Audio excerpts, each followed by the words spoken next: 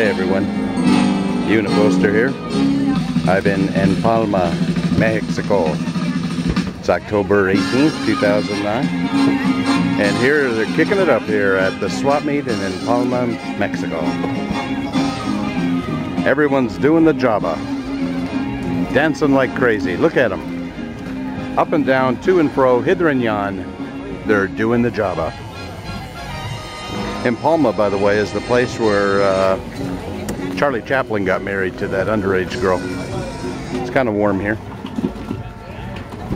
Still pretty nice. Just out at this uh, swap meet down here. Got a storm coming up in two or three days. Let's get a little closer to the music in Empalme, Mexico, where everyone is doing the Jabba. Hola. Do the Jabba. Toot, toot, toot. Kind of fun. Very beautiful here. All right, just thought I'd share with you. Up and down. When they sell eggs here, they tie them up in a string and you kind of carry them with you. It's a bunch of eggs over there. About three bucks for a big old case of eggs. All right, signing off here. It's hard to step through these people as they're doing the Jabba.